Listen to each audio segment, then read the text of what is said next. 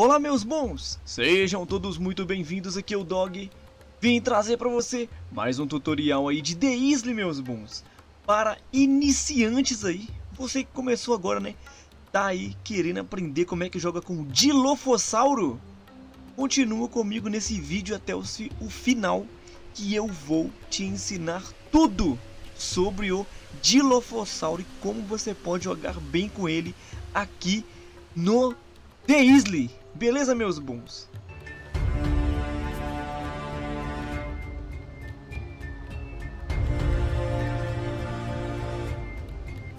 Lembrando que na descrição do vídeo vai ter uma descrição perfeita aí, tá?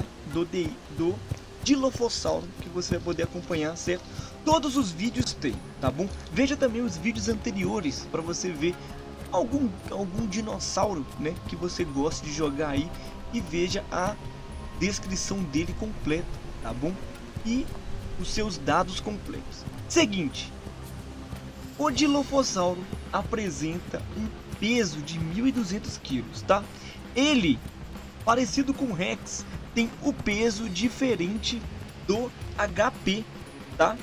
Na grande maioria dos dinossauros do Disney, o peso é idêntico ao HP, mas o Tiranossauro Rex e o Dilophosaurus são diferentes. Tem mais uns outros que eu vou falar no futuro, tá? Mas é muito bom você comparar sempre o seu peso com o seu com o seu HP, tá? No meio da batalha para você não ficar confuso, certo? O peso do Dilo é 1.200 kg e o seu HP é de 1.050, tá? Pode ser que no futuro isso seja igualado, tá? 1.200 e 1.200, certo? O tempo de grow, o tempo de crescimento para 100% do Dilophosauro aí é de 1 hora e 50 minutos, tá? 1 hora e 50 minutos, certo? A velocidade dele, a velocidade normal de você só apertando shift é de 38.9 km por hora. É bem rápido, né? E a velocidade investida do Dilophosauro aí é de 45,5 km por hora. A velocidade de investida é essa aí, ó, apertando Ctrl, tá vendo? Aí aparece uma setinha e você vai apertar o Shift e dá uma corrida, tipo, muito rápida. Isso é uma investida, tá? Diz a lenda que o damage duplica, tá? Quando você acerta aí na velocidade investida, mas eu não tenho uma comprovação disso, certo? A estamina do Dilophosauro é muito boa, muito boa mesmo, tá? Você pode correr aí boas distâncias e ficar com a estamina quase intacta, certo? Mas ela, ela recarrega em uma velocidade média, nem tão rápido e nem tão lento, tá? Ela não é que demora para recarregar, mas existem muitos dinossauros que recarregam muito mais rápido. A fome do Dilophosauro, ela não cai muito rápido, assim como também a sua sede não cai muito rápido, tá? E você precisa de presas muito pequenas para você poder encher o seu estômago. Ou seja, você precisa, né, comer, né, logicamente, regularmente, normalmente no Deisle, mas o Dilophosauro, ele precisa comer menos do que outros dinossauros. Apesar disso, a velocidade que ele come é muito baixa e faz com que você esteja muito vulnerável a ataques pelas costas, tá? Quando você está se alimentando aí que ele demora muito para comer, certo? Então fique atento quando você estiver comendo porque demora muito para dar uma mordida e arrancar pedaço, engolir, certo? A velocidade de mordida do Dilophosauro é muito rápida, tá? Tanto que a sua habilidade especial não é a força da mordida, no caso de Rex e outros dinossauros grandes, e sim o seu sangramento, que é de 44. Ele apresenta 44 de sangramento. É um dos sangramentos mais fortes do game, certo? Apesar dele ser pequenininho aí, o bicho é igual a cascavel. Você tá doido? Fortíssimo o veneno dele, fortíssimo. E veneno assim, né, que faz a gente ficar sangrando. Mas pode ser comparado a um veneno, né? Porque você fica lá tomando dano, não para nunca. Enfim, o Dilophosauro, a habilidade especial dele, na verdade, é ser um animal de hábito noturno associado ao seu sangramento, certo? Ou seja, ele é um bicho que taca à noite e dá um sangramento muito forte. Então deixa qualquer dinossauro desesperado, mano. Durante o dia, você é um dinossauro comum e normal, tá? Eu recomendo muito que durante o dia você faça né, o seu dilo verde para durante o dia você ficar como camuflado aí nas partes densas da floresta, tá? Porque o dilo aí de dia ele é muito fraco, certo? Tanto que ele é ruim no X1 contra todos os dinossauros carnívoros durante o dia. Ele não é bom contra nenhum, certo? Outra coisa também. Ele é bom no X1 contra todos os dinossauros à noite, certo? Ele é muito bom no X1 contra todos os outros dinossauros à noite, porque a sua visão noturna é a maior visão noturna do game todo e de todos os dinossauros. Então, ele tem uma vantagem absurda, além dessa visão noturna absurda, tem também um sangramento muito forte. Então, meus bons, casse apenas à noite, tá? Durante o dia se esconda e se defenda, certo? Ele é ruim contra todos os dinossauros no X1 durante o dia. Então, não vai dar uma de super-herói e falar, nossa, eu vi um parasauro ali, tô de Dilo, vou lá matar ele. Cara, um soquinho do parasauro já te mata, tá?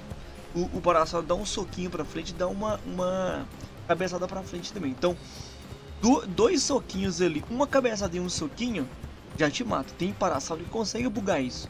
Dá uma cabeçada e um soquinho, dá uma cabeçada e um soquinho. Então, meus bons, cuidado, tá?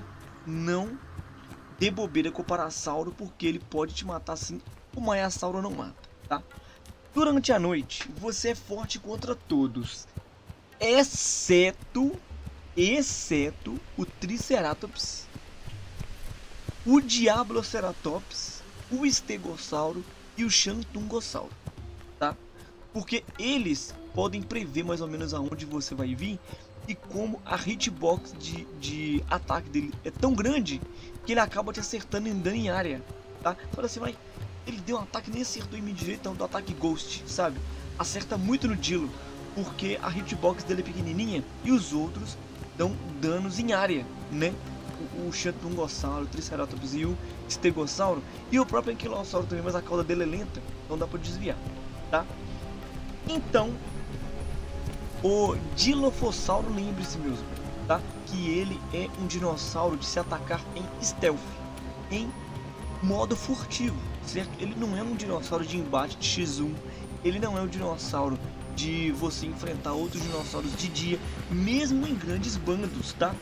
Se você quer enfrentar alguém durante o dia com um bando de 8 dilos, o máximo que eu já vi nos servidores foi 8 dilos. Se você quer enfrentar outros dinossauros grandes com 8 dilos, enfrente eles em florestas densas, tá? E vocês enxergam tudo e eles não enxergam nada.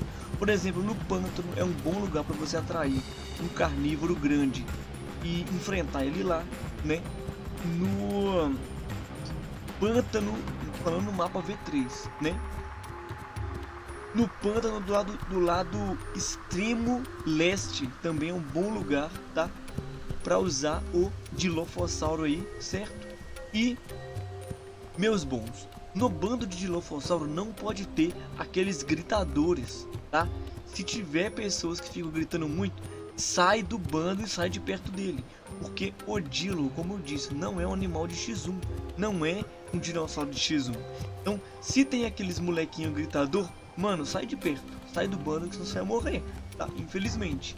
Porque ele vai acabar atraindo gente e muitos, muitas pessoas que já conhecem o game sabem que o Dilo durante o dia é uma porcaria, mas durante a noite ele é um monstro, um verdadeiro terror. Então, eles vão querer te caçar durante o dia para te matar o mais rápido possível. Na hora que todo mundo ouve, eu, por exemplo, quando eu escuto algum giro de dia, eu vou para cima na hora. Eu só calculo mais ou menos a direção que ele gritou e vou para cima na hora antes de anoitecer. Entende? Então, assim, faça isso, tá? Ande mais estevo, mais caladinho, é, é, sem fazer muito barulho e você vai ter muito sucesso. O Dino é como se fosse um ninja venenoso. Exatamente. É um ninja, ataca de noite, venenoso, uma cobra que tem que ser exterminado. Mas enfim, o Dino é muito bom, tá? Pra quem é iniciante aí, porque é um Dino que te dá uma maior liberdade à noite. E à noite, para quem não tem muita experiência no game, é uma hora assim destruidora, tá? Por causa de muito de barulho que você conhece, muita gente, gente que já conhece de caçar à noite, então aterroriza, né? Quem é mais novo aí, os próprios Dilos aí, aterroriza todo mundo de noite, né? Então, meus bons, ativa seu sininho aí para você não perder o nosso próximo tutorial que vai ser de Uta Raptor. Beleza, meus bons? Próximo tutorial Uta Raptor aí e eu tenho certeza absoluta e você aí vai gostar porque os Utahraptors são um dos dinossauros mais julgados do The Isle, né? Por causa da, da fama deles aí do Jurassic Park, assim como o Tiranossauro Rex, né? Então, ativa seu sininho aí, indica esse vídeo pro seu amigo aí que esteja em algum, em algum grupo de The Isle aí, certo, meus bons? Então, muito obrigado Espero você nas nossas lives e nos próximos tutoriais, beleza meus bons? Valeu demais!